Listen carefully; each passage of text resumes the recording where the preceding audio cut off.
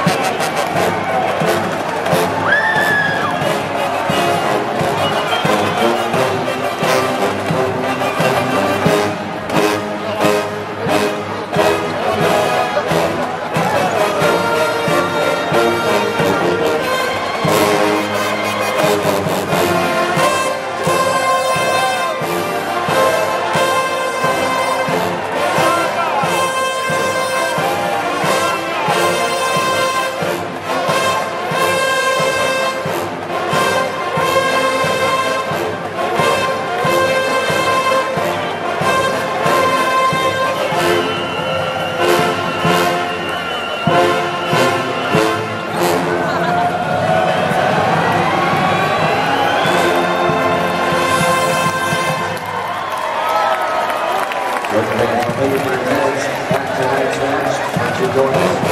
April 7th. Run